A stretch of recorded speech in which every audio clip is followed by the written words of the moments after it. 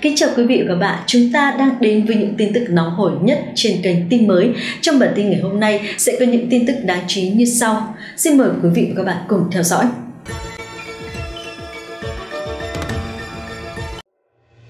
Chào mừng các bạn đã quay trở lại với bản tin của tin mới. Trong bản tin ngày hôm nay, các bạn thân mến, tin mới sẽ mang đến cho quý vị và các bạn nội dung sau.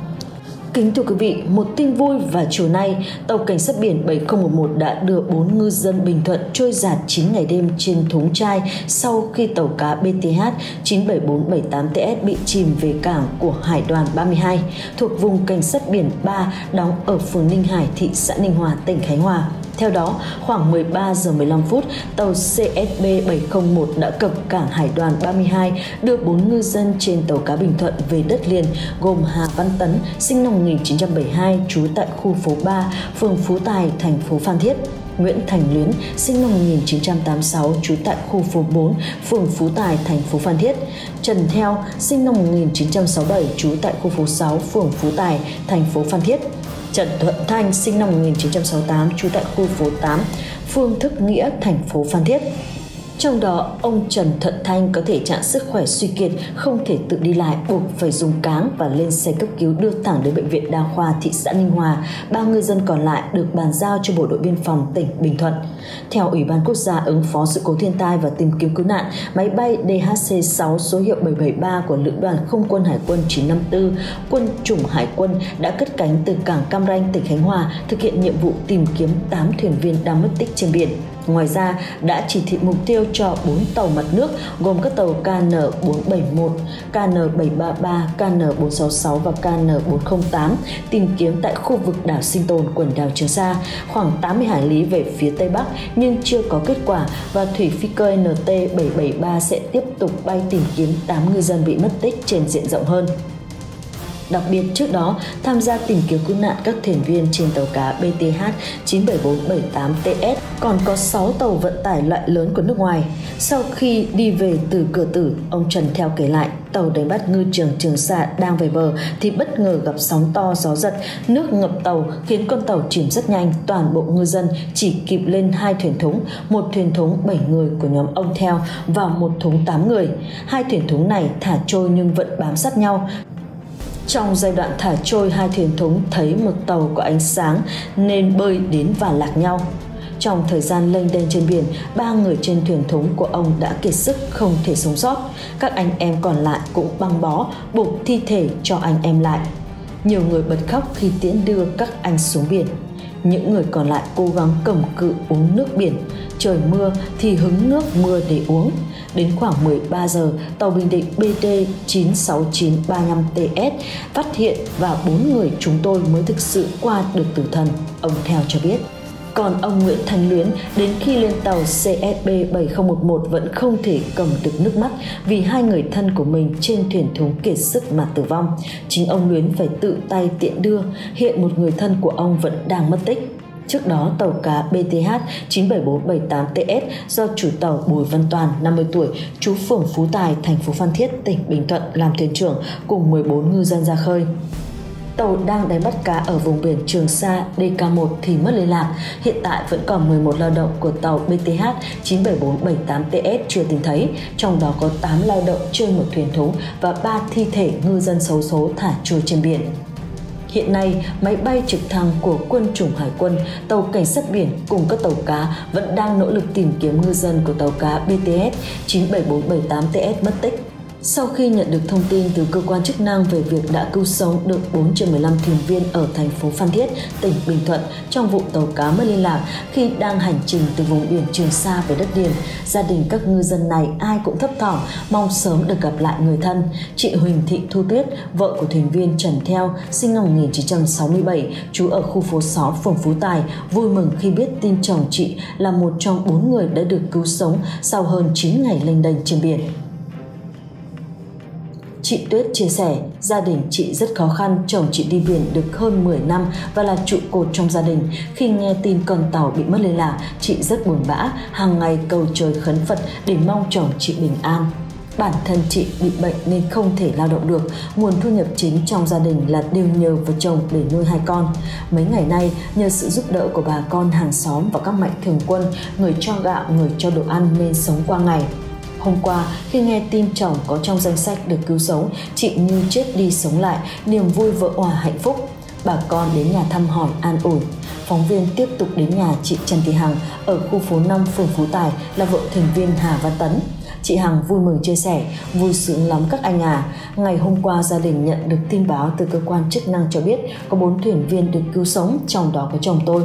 Nhận được tin gia đình vỡ hòa hạnh phúc, chắc sau sự cố này tôi sẽ không để chồng tôi đi biển nữa.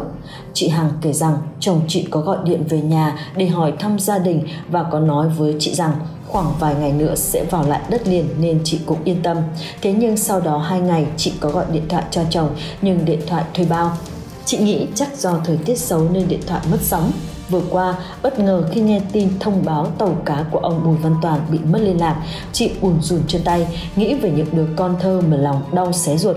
Gia đình một tay anh gánh vác nên khi nghe tin chị như chết lặng, chị Hằng chia sẻ thêm.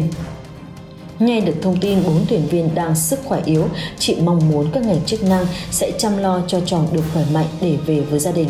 Đây là một bài học kinh nghiệm đối với gia đình chị. Sau vụ này, chị sẽ khuyên chồng bỏ biển làm ở trên bờ. Theo thông tin từ Bộ Tư lệnh Vùng Cảnh sát Biển 3, tàu CFB 7011 đang tiếp cận tàu cá BD 96935TS để tiếp nhận 4 lao động tàu cá BTH 97478TS bị nạn trên biển. Bên cạnh đó, Trung tâm phối hợp tìm kiếm cứu nạn hàng hải khu vực 3 đề nghị Hồ Chí Minh Radio tiếp tục phát huy yêu cầu báo cáo tàu thuyền hoạt động quanh khu vực vị trí cứu vớt 4 lao động trên thuyền thúng, tăng cường quan sát, hỗ trợ tìm kiếm 8 lao động trên thuyền thúng và 3 thi thể trôi giạt trên biển.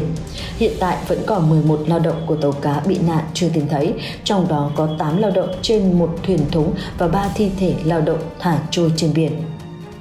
Công tác cứu hộ cứu nạn vẫn đang được lực lượng chức năng gấp rút thực hiện. Sáng qua, tin từ Ủy ban Quốc gia về ứng phó sự cố thiên tai và tìm kiếm cứu nạn cho biết đã điều động một máy bay trực thăng hỗ trợ tìm kiếm ngư dân mất tích theo đề nghị của Ủy ban Nhân dân tỉnh Bình Thuận. Đây là máy bay trực thăng của quân chủng Hải quân Bộ Quốc phòng sẽ tham gia tìm kiếm 8 ngư dân trên tàu cá BTH 97478TS được xem là đang trôi giạt trên một thuyền thúng chai trên biển.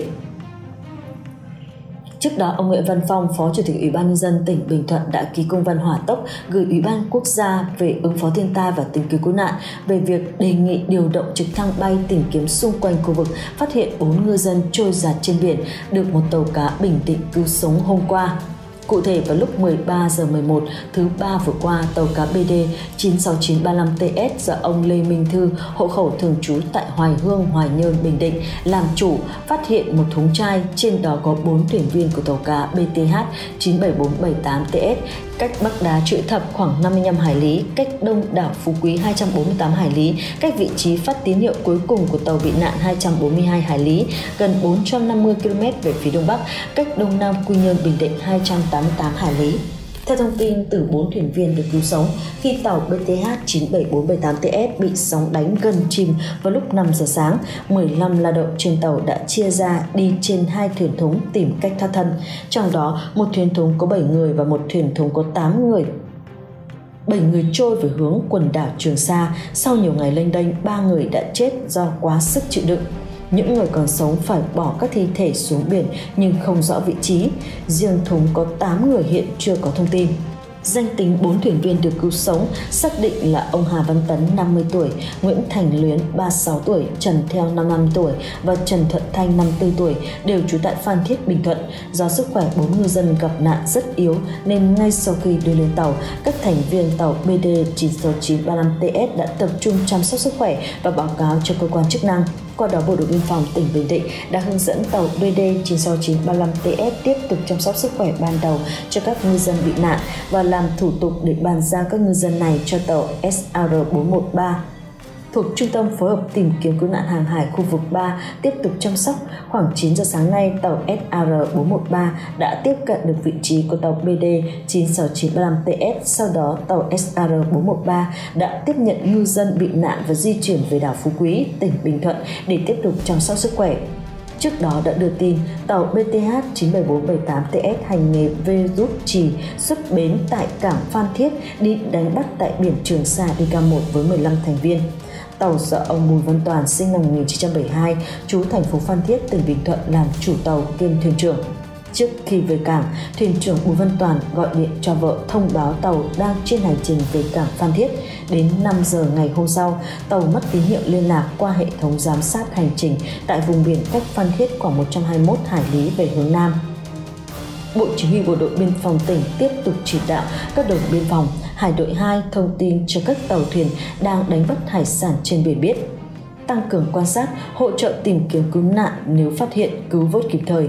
Như vậy, sau 9 ngày mất tín hiệu liên lạc, đến thời điểm này đã có những tín hiệu đáng mừng đầu tiên. Và thông tin trên cũng đã kết thúc chương trình hôm nay của tin mới. Để không bỏ lỡ những thông tin của chúng tôi, quý vị hãy bấm like, share và subscribe để nhận được thông báo mới nhất khi chúng tôi phát sóng. Còn bây giờ, xin thân ái chào tạm biệt và hẹn gặp lại.